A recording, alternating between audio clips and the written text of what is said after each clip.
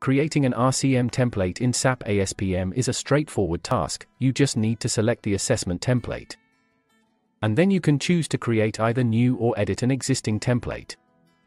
Roles assignment is also an option available while creating an RCM template. By using this we can determine what roles are optional and what are mandatory while carrying out the assessment. For creating the template we just need to add a description and add some relevant information. You can also add a checklist template and risk and criticality template for consequence evaluation. Once the template is populated with the required information we can choose to publish it.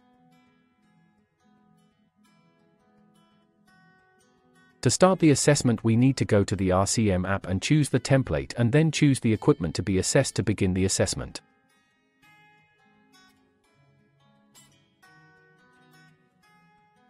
Depending on equipment context we can choose the functions, functional failures, failure modes and if required we can create new data. Required effects can be chosen for consequence evaluation using the assigned checklist. After completing the assigned checklist and risk evaluation, recommendations can be created.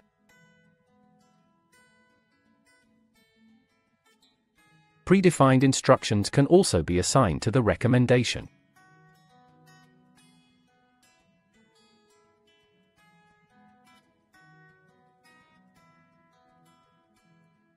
Risk evaluation at the level of recommendation can also be carried out.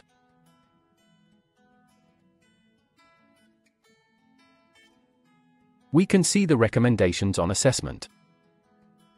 After the completion of the assessment, we can choose to publish it and this will complete the RCM assessment for the chosen equipment. Please feel free to reach out to us to know more about SAP RCM assessment and SAP Asset Strategy and Performance Management tool in the context of your requirements, or to arrange a demo tailored to your organization. Thank you.